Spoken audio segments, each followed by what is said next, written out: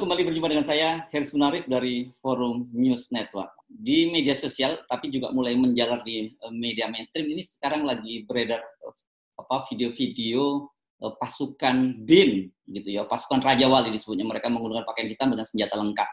Nah, ini banyak senior senior di kalangan TNI yang mempersoalkan kok bisa BIN punya pasukan sendiri dan punya senjata lengkap. Di Bung Rocky memang nggak boleh apa intelijen itu punya senjata lengkap seperti itu dan pasukan dan senjata yang lengkap seperti BIN? Secara etimologi itu badan intelijen negara. Jadi yang diandalkan intelijennya tuh menganalisa dengan nalar ke, ke logika yang kuat. Jadi kalau akhirnya pakai senjata, itu artinya otaknya nggak dipakai dong. Kan kemewahan dari intelijen artinya dia mampu untuk mengurai persoalan dalam bentuk informasi kemudian disodorkan pada usernya pemerintah itu. Jadi kalau dia mengumpulkan informasi dengan alat-alat kekerasan, maka informasi itu bias akhirnya. Hmm. Saya mau todong Anda saya kasih informasi. Ya orang yang kasih informasi juga bisa berbohong. Hmm. Padahal BIN mau supaya informasi itu pure. Jadi itu soalnya tuh. Karena itu disebut badan intelijen. Hmm. Inteli, inteleknya mendahului senjata. Tuh. Bukan badan uh, peluru negara kan bukan BPN ini BIN. Ya, ya. itu satu soal. Nah bisa aja BIN pakai senjata, tapi itu tradisi negara-negara otoriter. Karena dengan sendirinya BIN itu adalah peralatan militer. Nah di kita itu BIN itu bukan peralatan militer, itu peralatan kalau kita pakai istilah hari hari ini peralatan eh, soft power untuk contain atau untuk melakukan uh, pembungkaman isu isu ancaman kan membungkam itu harus dengan kemampuan soft power. Nah kalau yang dipamerkan di depan uh, defile bin itu adalah senjata, lalu orang bertanya bin itu bagian dari militer atau bukan? Hmm. Itu itu jadi tanda tanya publik sangat benar. Nanti lama-lama juga preman pasar minta senjata tuh untuk uh, disiplinkan masyarakat karena preman pasar merasa untuk mendisiplinkan masyarakat soal COVID kami juga perlu peralatan yang sekedar bentak-bentakan itu jadi kacau kan hmm. cara berpikir negara. Ya, oke. Okay, jadi saya teringat uh, beberapa waktu yang lalu ketika Mas Panglima TNI masih dijabat oleh Gatot Nurmantio. Kalau nggak salah dia juga pernah bersikap sangat keras hmm. adanya senjata-senjata yang masuk yang diduga untuk Badan Intelijen Negara. Ya, itu akhirnya orang hubungkan lagi dengan dugaan itu tuh dan orang menganggap kalau begitu dari sudah dari awal ada persiapan. Lalu bagaimana uh, relasi peralatan BIN itu dengan peralatan uh, militer TNI? Standarnya apa itu? Supaya negara bisa bedain, oh ini BIN, itu TNI. Kan kita nggak tahu kalau sama-sama di, di uh, turun ke publik, kita nggak tahu ini TNI atau BIN itu. Hmm. Padahal BIN mestinya bersembunyi di dalam kemampuan intelijen bukan dengan pamer. Itu itu jadinya kan nggak mungkin. Berarti nanti kalau ada sekolah intelijen negara yang udah dibikin oleh BIN itu, berarti akan ada latihan uh, uh, pasang silencer, nentuin uh, apa namanya itu proyektilnya itu uh, sebesar apa proyektil yang mesti dikantongi. Mungkin kalau diam-diam aja mungkin orang anggap oke okay, itu dia petugas BIN, dia punya bareta di di kantong kanannya. Kalau sekarang justru dipamerin. Sehingga selalu orang menganggap BIN itu adalah kumpulan orang berintelijen, bukan kumpulan orang bersenjata. Dalam tradisi dunia begitu. Hmm. Orang justru percaya pada BIN karena otak mereka itu diandalkan mendahului senjatanya. Tuh. Senjata dipakai kalau bela diri. Hmm. Tapi ini senjata dipamerin. Hmm. Ajaib. Hmm. Jadi ya, wajar kalau kemudian banyak yang mempersoalkan itu. Karena orang hmm. selalu membayangkan begini, eh, yang terbayang oleh benak publik itu kalau intelijen itu ya model James Bond gitu, M, MI6 gitu yang dia juga yes. berbagai peralat senjata. Jadi orang menganggap yang nggak salah memang kudunya Bin itu punya senjata seperti, seperti James Bond. James Bond itu dia senjata pertamanya adalah uh, uh, apa namanya Bonds Girl. Uh, oh, iya, iya. Wanita-wanita Bonds. Ya.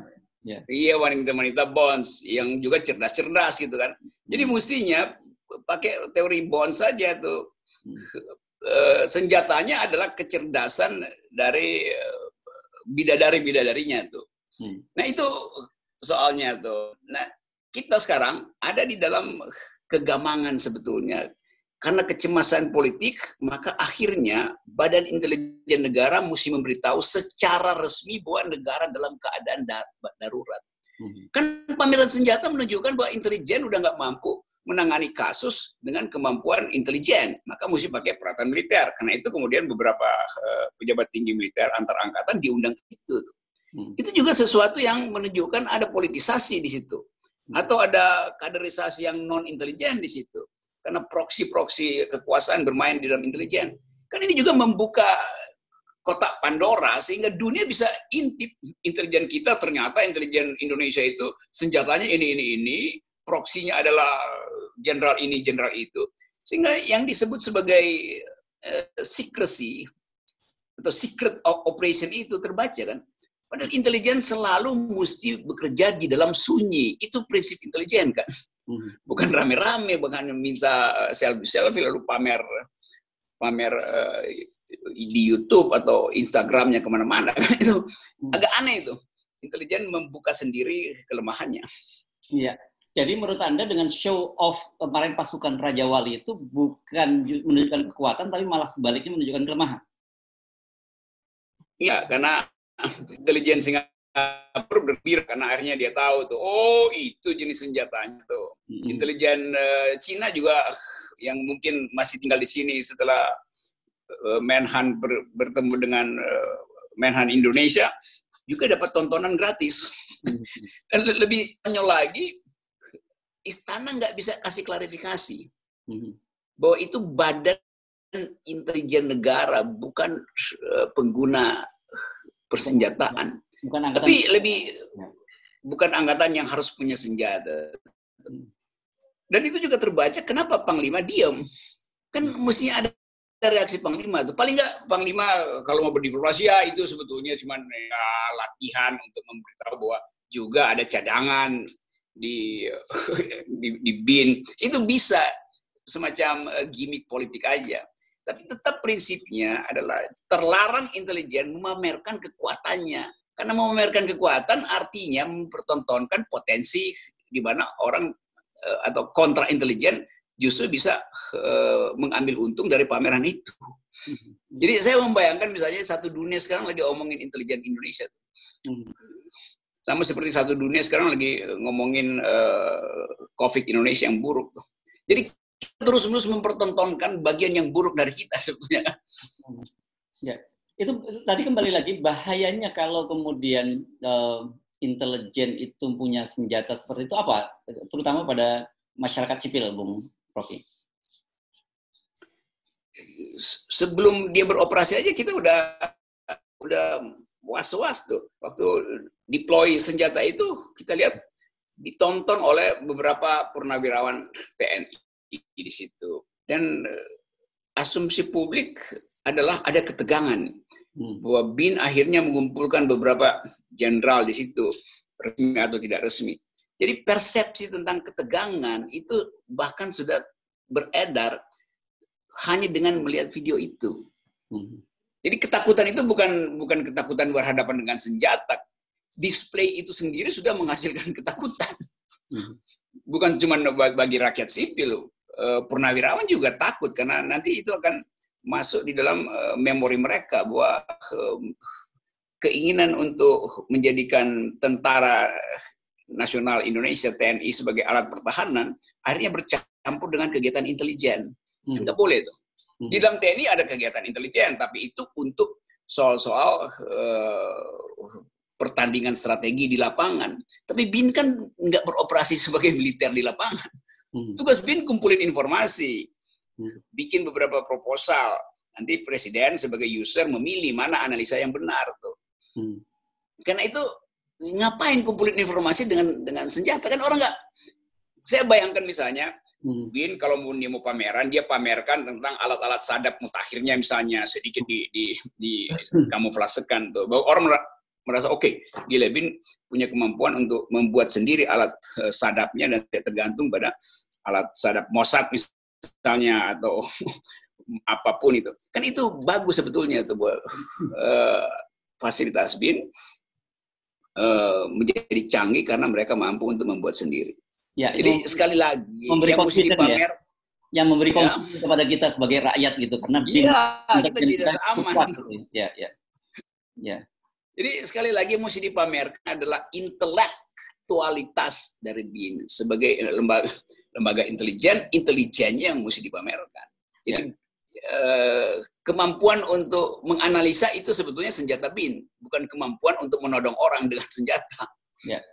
Itu menjadi pertanyaan memang dalam kasus apa atau um, pasukan ini akan digunakan karena kita tahu dalam masalah-masalah kamtipmas dan kam dan sebagainya itu ada polisi kan gitu kemudian polisi. masalah pertahanan keamanan negara itu ada tentara dan dalam kasus tertentu dalam yeah. terorisme tentara bisa dilibatkan ketika membantu polisi. Nah, di sini dengan senjata itu dalam kasus apa kira-kira itu akan digunakan?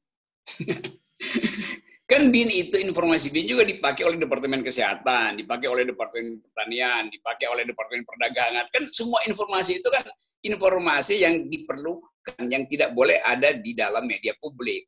Mm -hmm. Nah sekarang semua departemen itu juga akan minta informasi lalu Binya sendiri pusing mau sodorkan apa informasinya itu.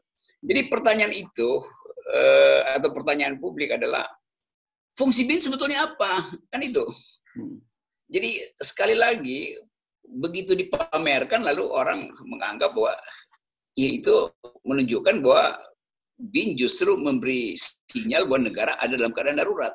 Hmm. Padahal kedaruratan itu mestinya ditahan oleh BIN. Ya. Karena BIN nggak boleh kasih sinyal itu. Yang boleh kasih sinyal adalah eksekutif tuh. Karena fungsi menyatakan darurat atau nggak darurat adalah presiden. Nah sekarang BIN ambil alih tugas presiden.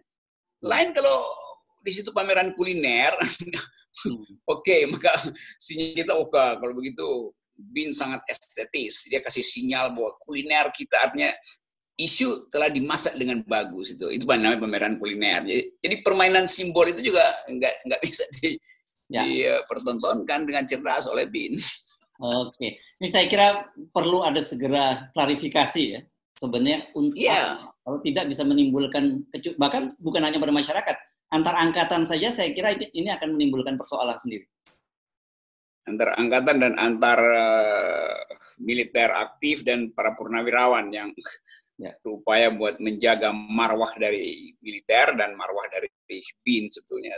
Ya, oke kita kita tunggu penjelasan berikutnya, Bung. Terima kasih. Ya.